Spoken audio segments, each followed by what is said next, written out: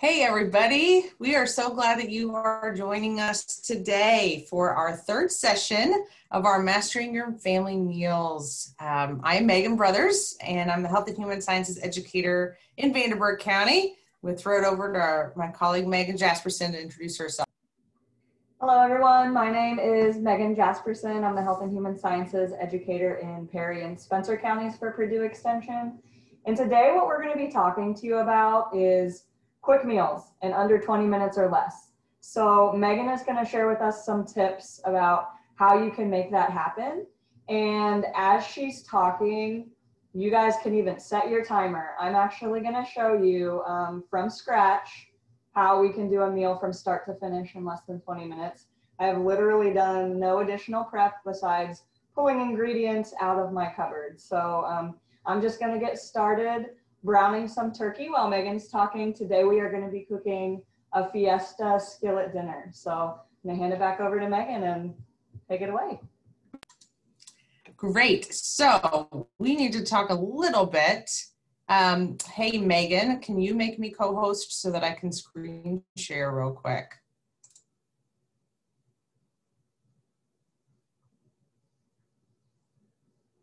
But part of what we need to do is talk about why this is important. So we know that big hot topics are how to make quick meals. And when you Google things or even looking on Pinterest, there's lots of questions and pins about quick and easy meals. Um, so we thought this would be a great um, resource for you guys and something really great to talk about um, to share how we could make that happen. So bear with us just a second. I don't know how to make you the host. You should click on my picture, the little three dots. Yep.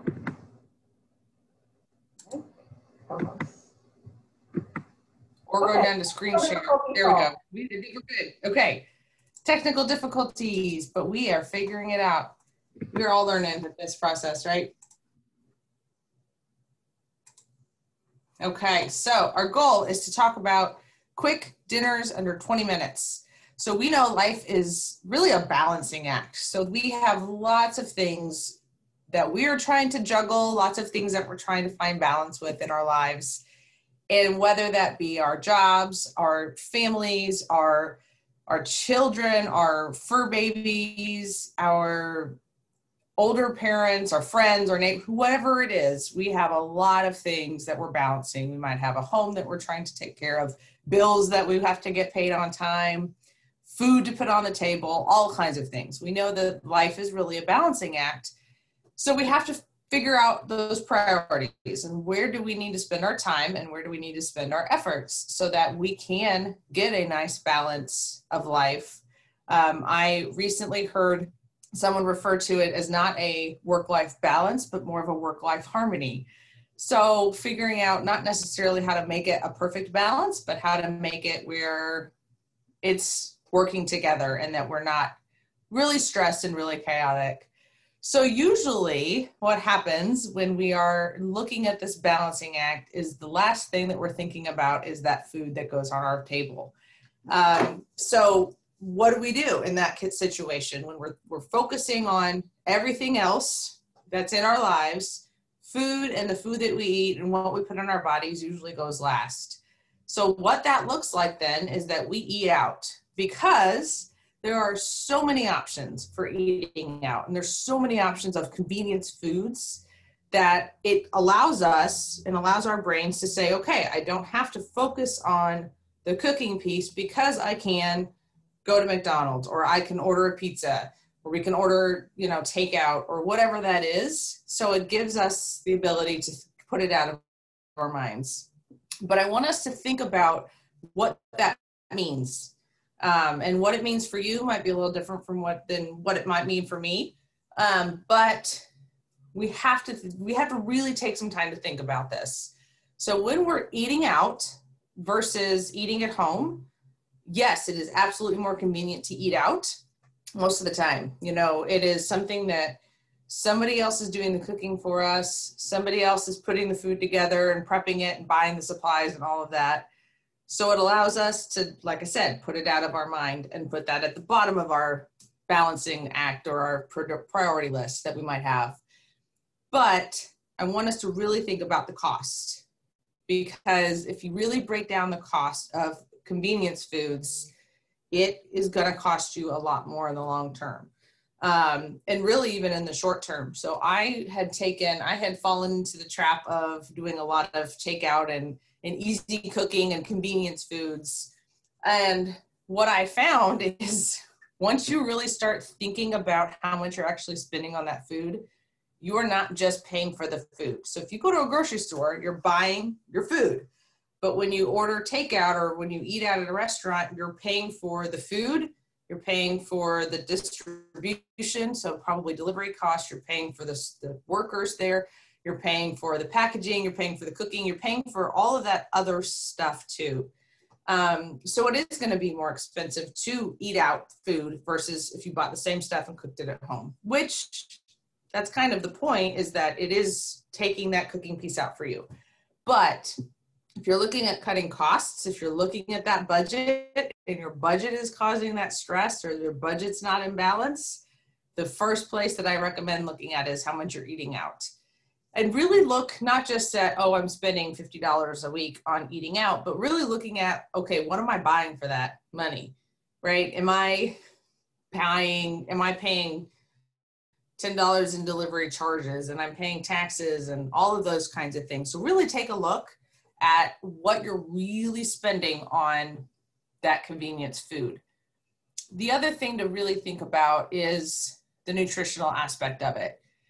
So there's a lot of research. We could spend a whole session talking about nutrition and mental health and nutrition and um, happiness and nutrition and, and life. But the point is when you're eating out, it's really difficult to find really good healthy meals when you're eating out.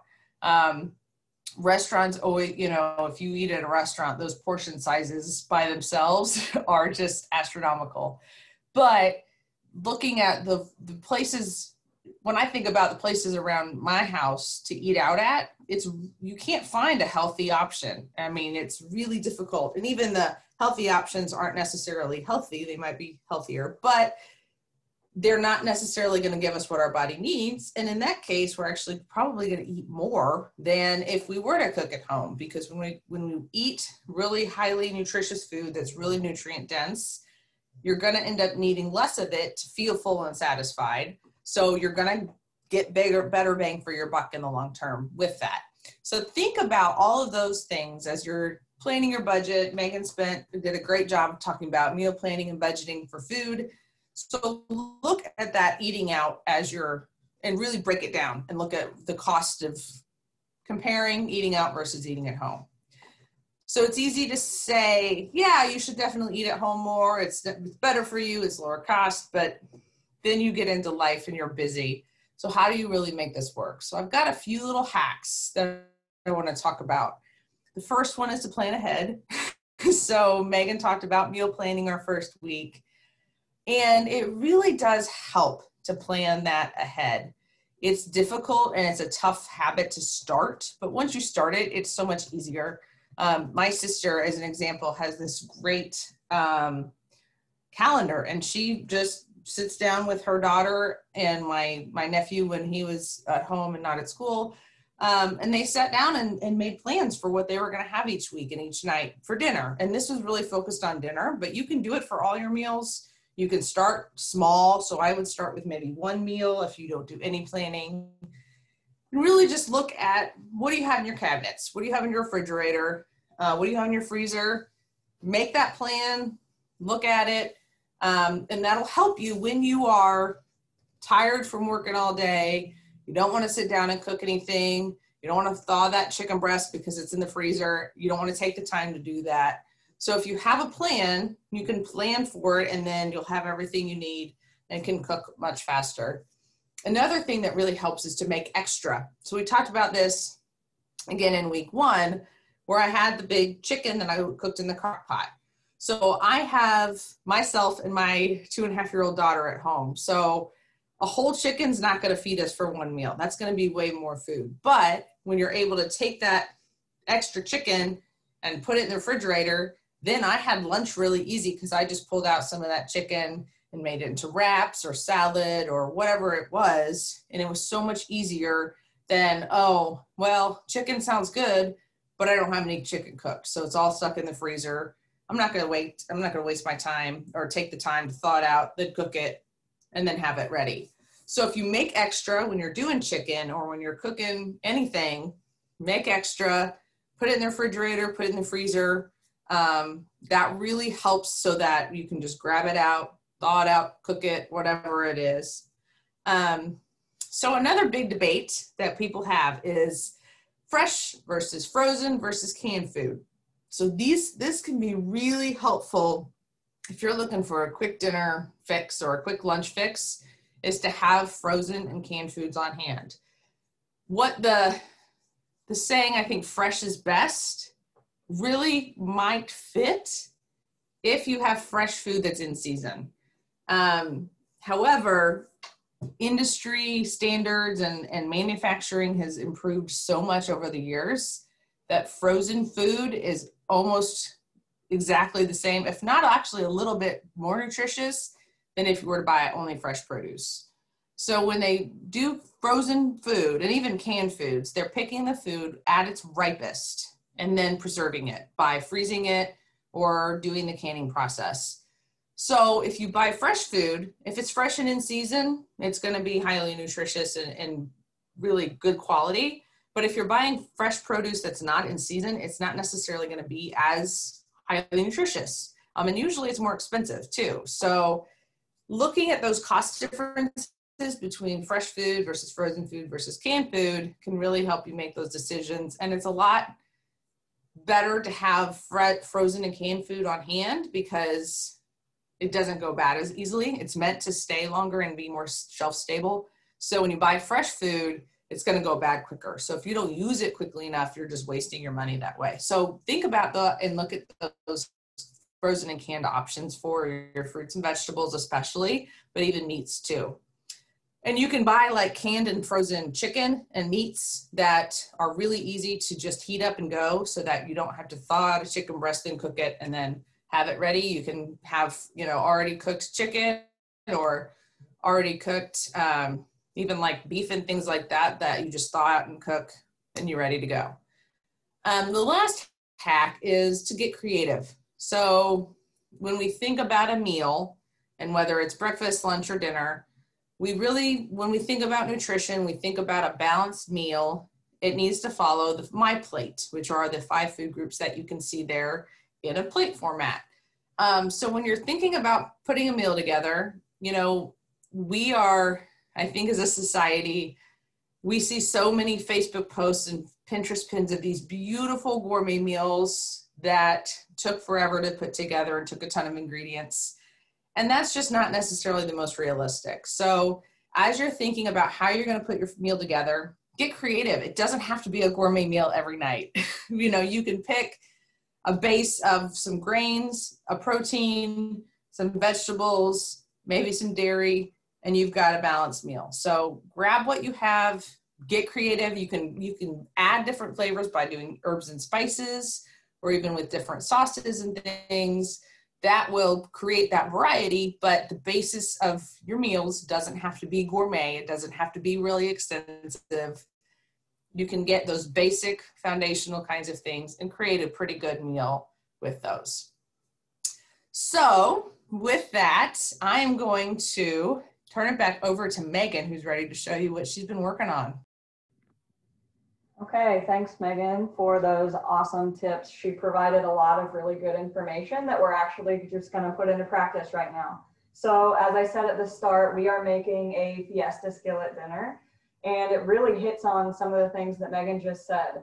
I really like this meal because when you're thinking about the My Plate, it does hit all of those categories. So I'm going to show you what we have going on here. Um, we have this meal calls for, um, it actually calls for chicken, but since we already did chicken, Megan did that earlier in the series, we wanted to just show it with ground meat today. So I choose a lean ground turkey for a substitute, um, which I already browned in my pan. That takes about seven to 10 minutes to get um, nice and cooked. And then, um, so the beauty of this is that it's what I call a dump meal. All you're gonna do is throw it all together in a big skillet. So we have our meat, and then it also calls for frozen corn. So I've already measured out a cup and a half of frozen corn. I'm just gonna dump that in there. And Megan talked about the difference between frozen versus fresh versus canned. Um, this is flash frozen, so it goes directly from the field to being frozen. So it locks in a lot of those nutrients and now it's in my skillet. Okay, so that's easy. Um, calls for black beans. This is a simple can of black beans. I did rinse it because um, when you go with the canned option, sometimes the sodium content is higher, but if you just drain it and give it a quick rinse, that will take care of that. So I'm gonna dump my beans in. And then it calls for some Mexican tomatoes. I chose um, diced with green chilies. There's a couple varieties. Or if you are a gardener, this is a great way to use up some of those end of the season tomatoes. And then it calls for a tablespoon of chili powder. So I'm just gonna add that in and mix that all up. I've got my burner on medium low. And so we're just gonna let that heat up. The beauty of this is that my ground beef is already cooked, or my ground turkey is already cooked, excuse me. Um, so we're just gonna mix that all together and let that heat up.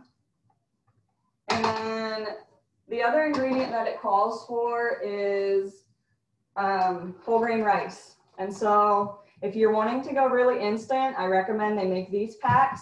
They're really easy to do and they are only, it only takes 90 seconds. You can go with um, other varieties that take a little bit longer, but um, I'm gonna just pop this into my microwave for 90 seconds and let Megan um, show you a couple of additional handouts. Yes, thanks, Megan. So I'm going to show you the recipe that Megan is cooking today. Um, and as you can see from this, it's a little, let me zoom in just a little bit for us. Um, so I like this recipe. It's from Iowa State Extension, and it's great because it shows us exactly how much it costs per serving. So you can see really how inexpensive it is. Um, so you can always swap out some of those vegetable options there. And like Megan already, you know, opted out of the chicken. She chose ground turkey instead. But the point is to have that protein. If you don't want meat, then you can you can add more beans in there or add a different variety of beans as well um, to make it a vegetarian option. Um, and so it's only a dollar twenty-six per serving, and the serving size is a cup and a half of each of these. So that's a pretty good amount of food. It's really high in fiber, so it's going to get you nice and full and, and keep you full. Um, but at a dollar twenty-six a serving, you can't really beat that that cost, right? The other really cool thing is that this recipe freezes really well. So this has really good stable food that is going to freeze well. So you can cook it. So I made, um, I actually tried this because we have to try recipes when we're when we're doing things for you guys, right? Um, so I actually doubled it and I had food for like a week and a half. And it was awesome just to be able to pull it out, throw it. I did a salad one day, I did um, a wrap another day. So you can do all kinds of things with it to make it more exciting um, to use that option. So another couple handouts I'm to show you guys real quick um, that are really great. They have recipes. Recipes are always really nice. Um, but this one from um, North Carolina Extension talks about one pot dinners. So you saw with Megan, she had two dishes. She had her skillet, her skillet that she browned in, her skillet that she put everything else in. Um, but it's really great when you're thinking about that time too that you're spending on cooking. You don't want to do a whole bunch of dishes. So when we can get easy one pot dinners. Those are always really popular. So here's a couple of those that we'll share with you guys. And then this is another extension handout um, from Michigan State that talks a little bit more about why we want to do these quick, easy meals. Um, and there's a couple recipes on there as well. And we'll make, we'll get these to you guys. Um, and I do want to show the, I want to show you guys our evaluation. We do appreciate you guys um, giving us feedback on our programming. Um, so we've got this here. I'm going to throw it in our chat box as well for you guys to be able to see um, that you can fill out this out for us. And it gives us really great feedback to know how we're doing. So I'm going to throw it back to you, Megan. Okay, thank you, Megan. So as you can see, I just popped this instant rice into my microwave for 90 seconds and it's ready. There are other varieties. Next week, join us for um, stocking your pantry. I went to Sam's Club and I have like a 25 pound bag of whole grain rice that I got for like $8. So this is a really affordable food, really versatile. But if you're really looking for a quick meal, 90 seconds in the microwave, we're just gonna add that to our skillet and mix it in. And then we're gonna top that with half of a cup of cheddar cheese. And look at that. You've got a beautiful skillet meal to feed your family. And like Megan said, this is super versatile. Throw it in wraps, put it on salad, just eat it with chips, eat it as a taco bowl. It's awesome. Um, so with that, um, Megan threw the evaluation in the chat. I don't, if there's any um, questions, you can reach out to Megan and I directly. And um, if not, be sure to join us next week as we do discuss stocking your pantry and going through what some of those staples are that you should have in your kitchen. And we will be same time, same place, same Zoom link. Anything else to add? Thanks for joining us. Thanks, everybody. Have a great day.